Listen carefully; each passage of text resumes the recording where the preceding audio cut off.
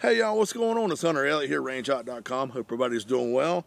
So I got my old Delta Elite out. This is the Gen 2. I did a review on this pistol a number of years ago, believe it or not. I bought it from Colt, and I've been enjoying shooting it. And uh, I got to thinking about there's a really kind of a, a, hot button topic that I see is circulating YouTube and circulating the gun forums and all this sort of thing. And it's can you drop the slide on the empty chamber on a 1911? Well, I mean, can you? Yeah, of course, it's physically possible. Should you? No. The primary reason, and I think this goes for all handguns, is just dropping that slide on empty chamber is in bad taste. It's in bad form. Don't do that, especially to somebody else's gun. Don't, you know, but there is a reason other than it being in bad form. Some people get their 1911s and they're like, hey, look, is this is a good trigger but I want it better. So they'll send it to the gunsmith to have a trigger job done. Well, one of the first things the gunsmith is going to do is they're going to address that sear and hammer hooks. A lot of times they're going to clean that sear up, they're going to uniform it, they're going to polish it, and maybe even reduce the material and get a more of a sharp knife edge. And they're going to do something similar, or the same to the hammer hooks. You know, polish on those, make them more uniform, take out any tooling marks, and perhaps even reduce the size of them. I'm not saying do that. I'm just telling you what some gunsmiths will do when they're attempting to get a better trigger out of a 1911 style pistol. Now, when you've got that really nice, beautiful trigger job with that knife edge, beautiful, clean, perfect knife edge on your sear, engaged with the hammer hooks, that's certainly going to make the trigger pull better. But if you start dropping that slide on empty chamber, what's going to happen is that trigger is going to move around and it's bumping the disconnector and that disconnector is bumping the sear, and that sear is probably trying to do a little bit of moving inside those hammer hooks. Probably not a lot, but some. And what's, what could happen and what will happen over time is it's going to begin to damage your nice trigger pull. It's going to be to damage those parts, that sear, leading edge of the sear, the hammer hooks, that sort of thing.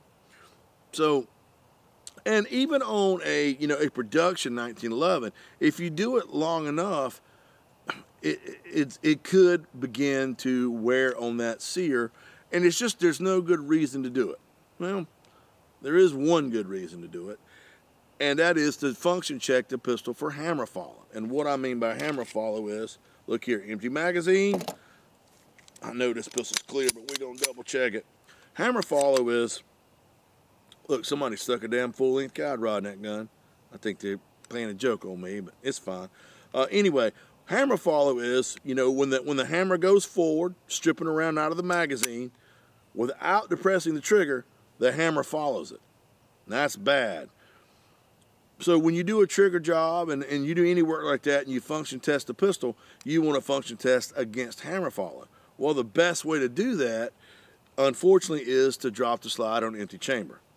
Now, you know, when you've got a, a full magazine full of ammo and that slide is going to battery and it's stripping around out of the magazine and going to battery, that's gonna slow that slide down a little bit. It's gonna reduce the amount of force it has when it does go fully into battery.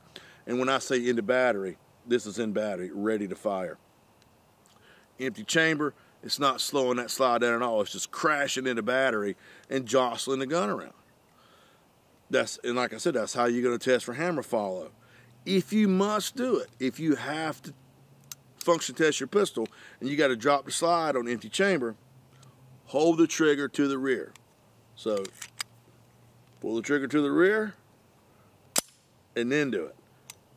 Now I hate doing that, and I and I will re reiterate that's in bad form. But for demonstration purposes, it ain't gonna hurt this pistol, especially because I pulled the trigger to the rear. Now what does that do? Well, that does two things. First, it puts pressure on that trigger to the rear so the trigger's not going to be moving around, bouncing around.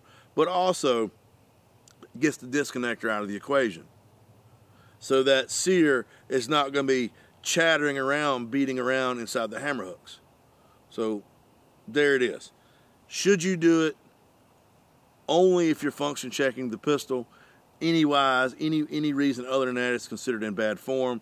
And I would agree it's in bad form on all handguns. Don't just drop the slide on the chamber it's it's not respectful to the gun. That's the same as don't flip the damn cylinder back into a revolver. You see people do that. They got the cylinder out and they just flip it over in there. Don't do that. That's that's hard on the crane. That's hard on a lot of parts. We'll do a video about that, but don't do that either. But anyway, Candy's telling me at five minutes, so real quick like a rabbit, I'm just going to wrap this up. Should you drop the slide on an empty chamber on your 1911? Only if you're function checking for hammer follow, and if you do it, be sure you depress that trigger. Otherwise, if you got to get the slide down on the empty chamber, you know, I'll just take my hand and just kind of ride it down like that. So anyway, uh, that's all I got. Let me know what you think. There's a comment section below.